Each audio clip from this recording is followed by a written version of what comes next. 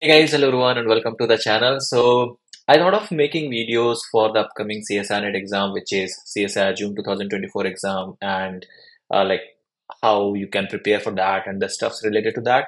Uh, but then I thought that it is equally important to discuss about the previous exam, which is CSIR December 2023 and have a detailed analysis of that. Now, there are various reasons why I'm making this video because the last exam was a little different. Uh, it was little unexpected and that's why it becomes important to understand that okay? So whosoever if you are preparing for the next CSIR NET exam and if you are planning to uh, you know to start your preparation now so it is very important for you to understand what was asked in the previous exam what was the weightage of the topics which topic was asked of higher marks which topic was asked for a lower marks which topic was not asked which topic was asked more frequently which part contains more question uh, I mean, uh, more questions from a particular topic, and so on. So this is going to be a detailed analysis of CSIR December 2023 exam, and it is super super important for the preparation of next exam. I know like you all are preparing for it, right?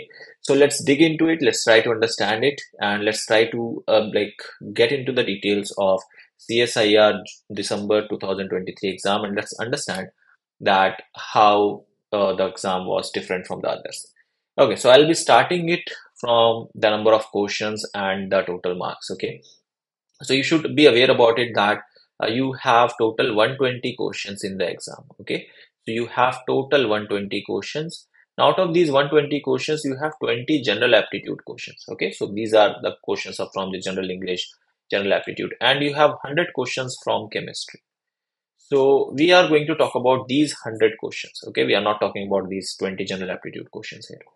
So out of these 100 questions of chemistry, there were 32 questions asked from inorganic chemistry, there were 33 questions asked from physical chemistry, and there were 35 questions asked from organic chemistry. Now this all makes, uh, if you add them, this becomes 100. So you can see that organic chemistry was asked uh, for more number of questions, slightly more number of questions compared to inorganic and physical chemistry but overall if you see there is no huge difference. So what we can understand the first point which we can take from here is that all the three topics organic inorganic and physical all of them have similar weightage. They are not entirely like there is no uh, like huge difference between the mark uh, between the weightage of the three sections okay?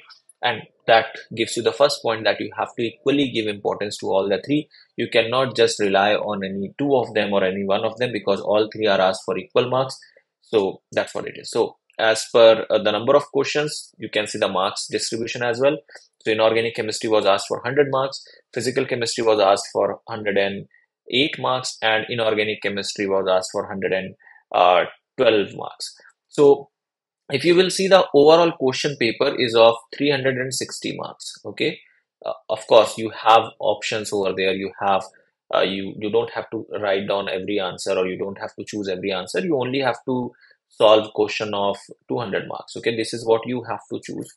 But the question paper consists of 360 marks. That's why you are seeing this much uh, these many marks okay? So don't get confused that how these many marks are asked. That's because the overall question paper is of 360 marks okay? I hope you got the point. So looking upon here it looks like organic chemistry is the one which has high weightage 112 which is 12 marks more than inorganic chemistry and then 108 marks. And this trend is very uh, evident from the previous two three papers okay? If you will look upon the previous few exams you will see that inorganic chemistry is the one which is given slightly less weightage. Like it's not huge difference but it's still like 10 marks or 12 marks difference than the others. Sometimes physical chemistry is asked for higher marks sometimes organic chemistry is asked for higher marks. But they all in all they are always like inorganic chemistry is like it's always lesser than both of them. So what does that mean? It means that inorganic chemistry is something which every year it is asked of around similar weightage and you have to choose either physical chemistry or organic chemistry in detail along with inorganic chemistry to qualify this exam. You cannot just simply rely on inorganic chemistry solely and give the exam okay? This is what you can look upon from here. Okay, coming to the thing, so this is the percentage distribution as the marks which I have just shown you. So the highest percentage distribution is for organic chemistry, which is of 35%. So this is just converted into percentage, okay? So 35% of questions are from organic chemistry, 34% from inorganic, oh, sorry, from physical chemistry, and from inorganic chemistry only 31% questions are asked. Okay, let's look upon the chapters of inorganic chemistry. Okay, so for inorganic chemistry, which chapter had how much questions and how much, uh, like how much marks basically they had. So starting from organometallic compounds, so these are like marks. Okay, these are like marks, like how many marks they were asked in section B and section C, means part B and part C of the exam. So for organometallic compounds, you were asked for 6 marks in section B and you were asked for 24 marks in section C. So overall, it is of 30 marks. Okay, this this topic was of 30 marks. Chemical bonding was asked for 4 4 marks. That means it was asked for 8 marks. Coordination chemistry, very uh, like uh, surprisingly, it was only asked for 8 and 6. That is around uh, 14 marks. Then your main group elements was asked for 12 marks. Then you can see F block elements. This time it was asked for a little higher weightage. Uh, it was asked for 8 marks Nuclear chemistry was asked for 4 marks, just one question from section C. Then bioinorganic chemistry was asked for 6 marks. Inorganic spectroscopy was asked for 10 marks and analytical chemistry, which I have included in inorganic only. So it was asked for 4 marks. So if you see upon here, you yourself can see that which are the star topics, which are the topics from inorganic chemistry which have high weightage. So you have inorganic chemistry, uh, sorry, organometallic compounds. This is one of the star topic which has highest weightage then your coordination chemistry this is again a star topic. Main group elements this is again a star. Star topic means the topic which has high weightage and then you have inorganic spectroscopy. So you cannot miss out these topics. These topics are the one from where you are always going to expect questions of higher marks okay? They are always having high weightages so if you are preparing inorganic chemistry you should have very very good command over these topics at least over these topics after these so i can just make double star on these. So these are like super important topics. After this after that there are certain topics which are of less importance but they are questions are asked from there like chemical bonding. Every year will see a question from there. F block element you will every year see a question. Bioinorganic chemistry will every year see a question. So these three again are important topics but you should cover them after covering these double star topics. Okay so this is how the percentage or this is how the marks is just shown just to make you understand that the highest weightage was for organometallic compounds, then coordination chemistry, uh, main group elements and inorganic spectroscopy. So these are your star topics. Okay. Coming to the next, which is physical chemistry. Okay. So physical chemistry, if you see, so here the first topic is quantum chemistry. From here, if you see section B, six marks, Section C 16 marks get, gives you around 22 marks. Chemical kinetics 2 marks from section B. Section C 8 marks. Overall 10 marks. Surface chemistry 6 marks in total. Electrochemistry 10 marks in total. Solid state again 6 marks. Molecular spectroscopy 12 plus 4 16 marks. Then comes your polymer chemistry 6 marks. Uh, data analysis 4 marks.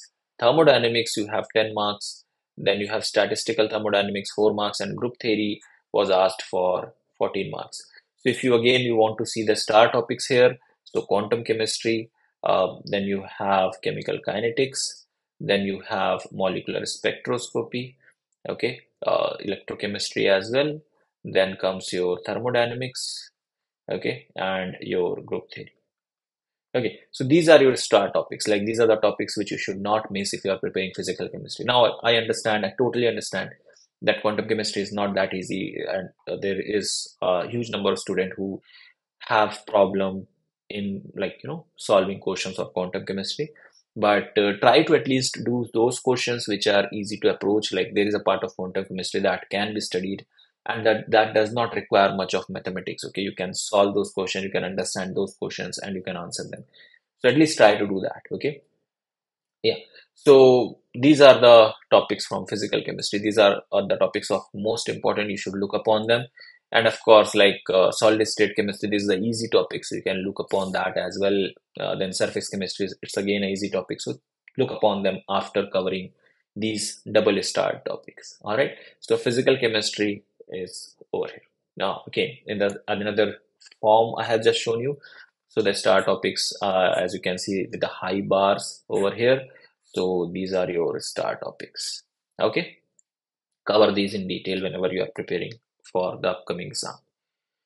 Talking about the next, which is organic chemistry. Okay, now if you look upon organic chemistry, GOC was asked, and you will see one thing again over here that GOC, which contains aromaticity and stereochemistry and related stuff, you will not get many questions from this topic in section C. Okay, so this was asked only for 8 marks. Then reaction intermediates and reaction mechanism, if you combine both these, so this was a very high weightage topic. Uh, it is somewhere around 32 marks. Uh, then reagents and name reaction, this was asked for somewhere around 42 marks. And then your organic spectroscopy, that was asked for 12 marks. Pericyclic reactions was asked for 8 marks. Heterocyclic compounds was asked for 4 marks and natural products was asked for 6 marks. It's very clear which is the star topic here. So these topic are the one if you are preparing organic chemistry like if you are considering organic chemistry as one of your major topic for the exam then you should not miss out these two topics okay even organic spectroscopy as well so that that is what we call it as star topic okay? But if you are someone who is studying inorganic and physical chemistry and uh, you want to cover some topics of organic chemistry in that case you if, if you if you find easy to cover these three topics it's good. But if you don't find them easier or if they look difficult then you can look upon the other topics okay? These are is comparatively easier uh, compared to these three. I mean you don't have to dig into that much of detail of organic chemistry and you can still solve questions from pericyclic reactions goc even organic spectroscopy is one which you can look upon okay? All right so as you can see the star topics are the one which has the highest bars. So reaction in uh, intermediates and reaction mechanism, reagents and name reaction, and organic spectroscopy. So this was all about this particular video. The idea was to provide you data, to provide you information that which topics are of high weightage and which topics you should not miss. And you should have a clear idea about how the question paper of CSIR December 2023 was uh, divided among the topics. Now we have also launched our own ebook, which is topic wise previous year's questions solved in detail.